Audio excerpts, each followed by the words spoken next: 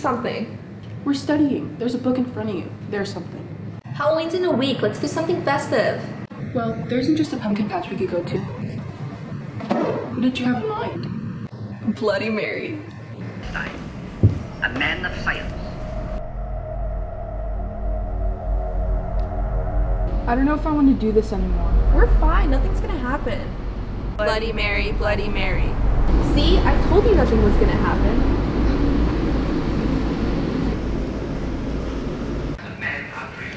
Oh, we forgot to turn off the movie. Oh, let's just watch the rest of it. Is it over yet?